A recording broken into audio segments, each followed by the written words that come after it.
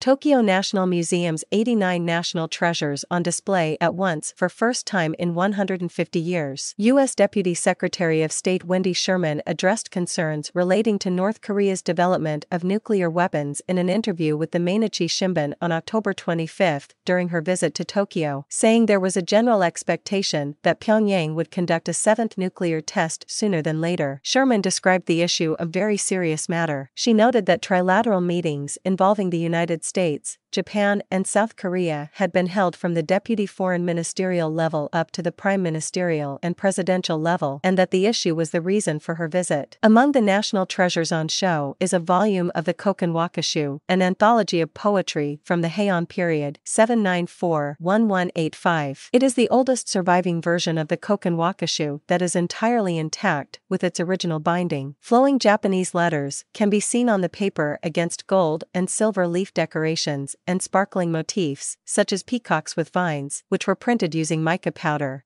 important cultural properties and other distinguished objects are also on display to represent the museum's long history, including the Horen imperial palanquin that Emperor Meiji rode during his official outings in Tokyo, a taxidermy of one of the first giraffes brought to Japan in 1907, and a pair of Kongo Rikishi statues, or gate guardians of Buddhism, which were acquired by the museum this year. The Tokyo National Museum is a 10-minute walk from JR Ueno Station. The exhibition is open every day, except Monday, between 9.30 a.m. and 5 p.m.